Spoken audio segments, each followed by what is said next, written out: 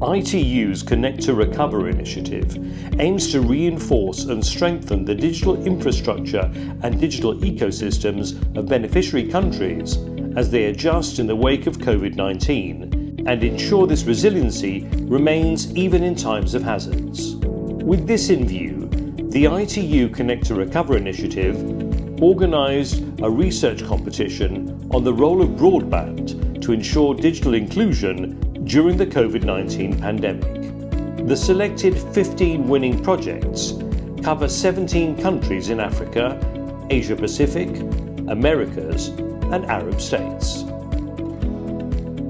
The research shows that though the use of broadband and digital technologies were critical during the pandemic, there were barriers in accessing online education, financial services, and healthcare services affecting students, small businesses, vulnerable groups, and isolated rural communities. Nevertheless, there is a silver lining.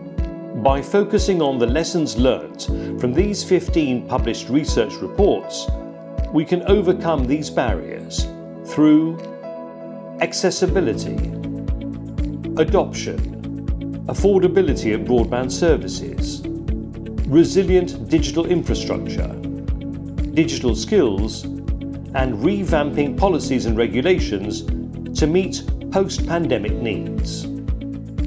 We will contribute to meaningful connectivity, which in turn enables development, and a better future can be built with broadband. For more information, visit www.itu.int slash connect to recover.